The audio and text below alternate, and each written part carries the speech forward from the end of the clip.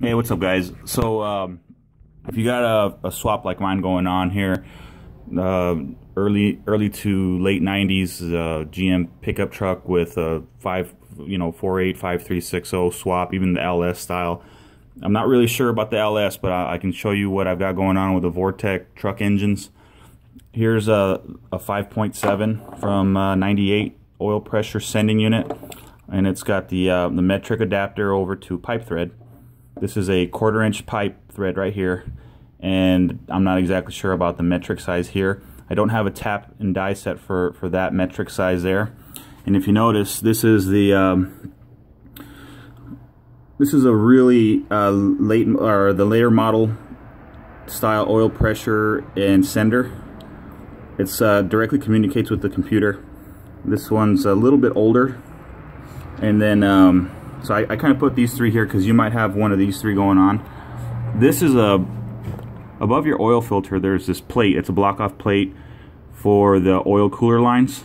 And they're not used on pickup trucks. So this is what I had going on here. I, I went ahead and uh, drilled a hole out. It's 7 16 drill.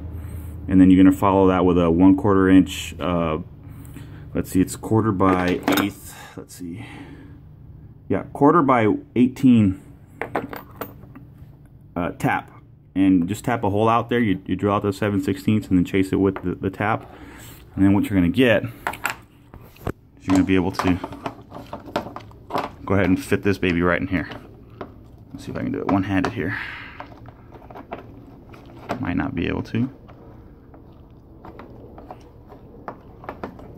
Well, actually I can.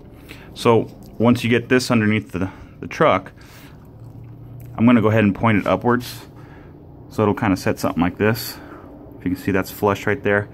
And it's just offset over to, uh, if you're looking at the front of the vehicle, it's offset to the right, pointing up. Pretty simple to do. You're going to take your 98 sender and then you'll be able to mate it to the, the cap there for the oil filter, uh, excuse me, the oil cooler lines and just bolt it right up and then you can drop in your uh, all the wiring that goes to to this guy here.